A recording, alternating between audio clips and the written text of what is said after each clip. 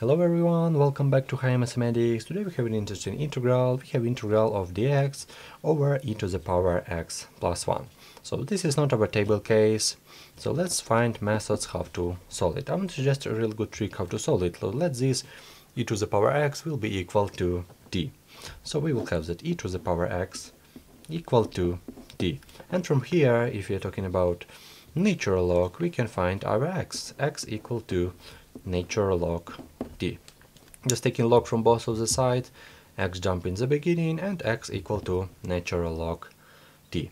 And let's find our dx, because we need to change all of these elements with this substitution. So dt will be equal to, or dx will be equal to dt over t. So we change all of these elements. So this is our dx. So let's put all of these elements right here inside of this of this integral. So we will have that our integral looks like that. We will have that integral of dx equal to dt over t. And in our denominator, we will have t plus 1. Let's simplify this a little bit. This t jump right here, and we multiply t by these parentheses, t plus 1.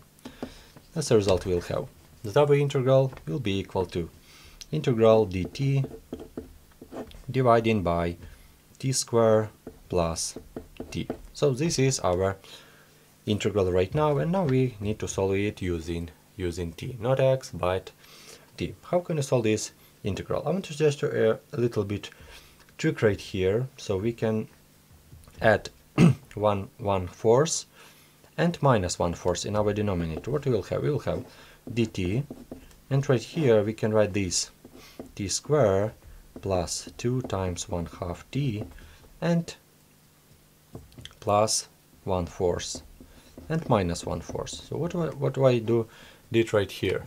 So this is nothing change. And I want to add one add one fourth and subtract one one fourth right here. But take a look, this is our formula. One fourth is one second to the 1 half to the second power. This will be our formula. And nothing changed, we need to write minus 1 fourth right here. So what we'll have?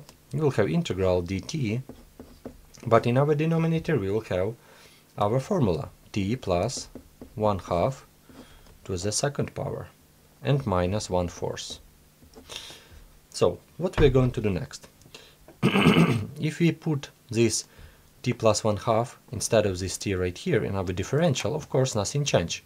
But if we will have interesting case.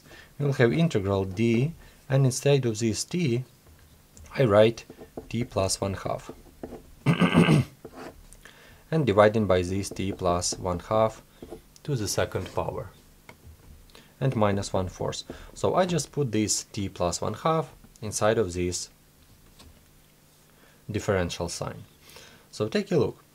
This is our natural log case because we differentiate using t plus 1 half and right here we have t plus 1 half to the second power. So this will be our natural log case. But instead of this, I want to write this minus right here and swap these, these elements. So what we'll have? Minus integral d and t plus 1 half in our differential and all over 1 half square I just write this one fourth to the power as, as 1 half to the second power and minus t plus 1 half to the second power. So take a look, this is our natural log case. This is our classic natural log formula. And this will be equal to minus 1 divided by 2 times 1 half. This is our constant and we'll have our natural log. Our natural log, but a huge natural log. 1 half plus t plus 1 half in our nominator and dividing by 1 half minus t and minus 1 half and plus c. And if we simplify all of these elements, we will have t, plus, t plus 1 as a natural log and right here we have only minus t. So as a result we will have minus natural log t plus 1 dividing by minus t.